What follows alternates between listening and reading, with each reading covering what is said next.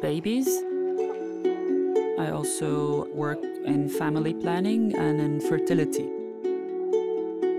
Women in obstetrics and gynecology in Egypt are not very many, mainly because of social issues where they have to take care of a family. As a five-year-old, I really just liked the water.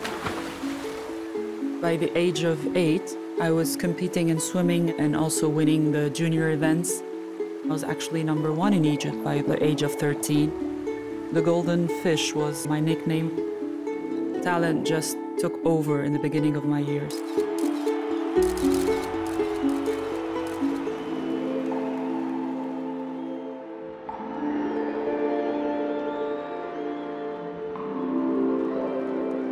In Barcelona, I was one of the young athletes, so I didn't feel the pressure of having to do so well.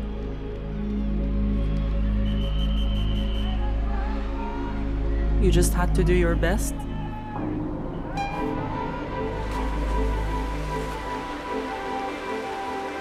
From then on, it was one competition after another. There were very few international swimmers for Egypt. To the point that one time I went to World Cup in Paris, I didn't find my name in the start list because they mistaken the name and the time to be one of the men's because it was fast for women. For a sprinter, you need to learn to pace yourself. You need to not put all your energy in the beginning of the race. Always be prepared for your other career after. I received many scholarships to come and study in the United States. So I had to do pre-med and the biology degree when I was competing. It was very nice to see that your education and your sport don't have to be contradicting each other and you can do both.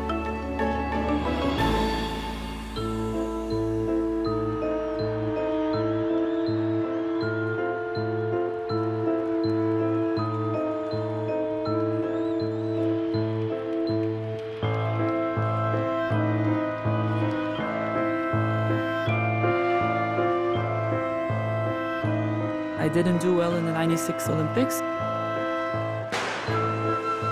I had injuries, I had bad results.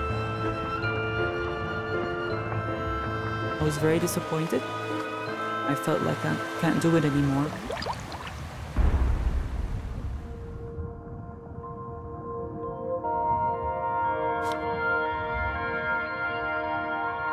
But of course, I've gained this stamina or this endurance or this character from being an athlete.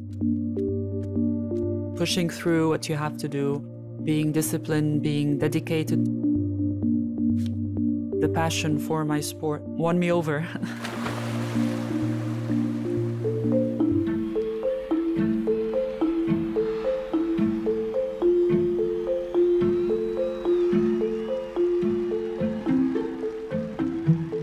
was dreaming so long about making it to the finals or the semifinals.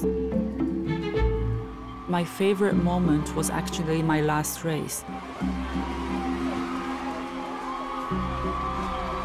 Stepping on those blocks for the 50 meter freestyle, you can hear the crowd as one voice. But then you have your water and you don't think about it anymore, you're just performing it your body automatically knows what to do.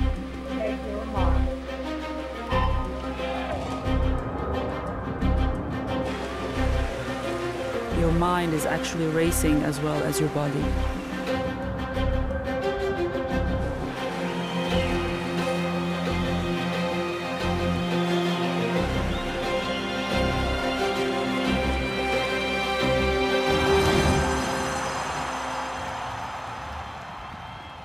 It's disappointing to some level, but I was very happy. I was very proud of myself. I didn't care about the end of it. I cared that I reached what I wanted to be in.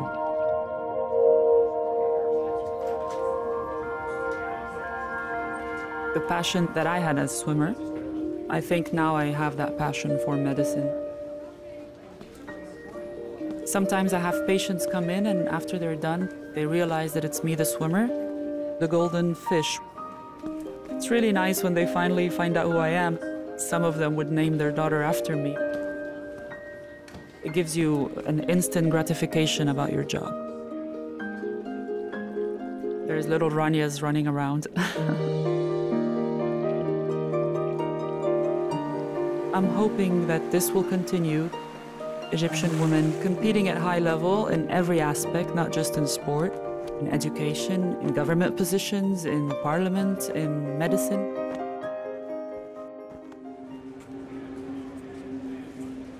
I'm actually really happy watching those who come after me because you feel like you've been there and you want them to be even better than you.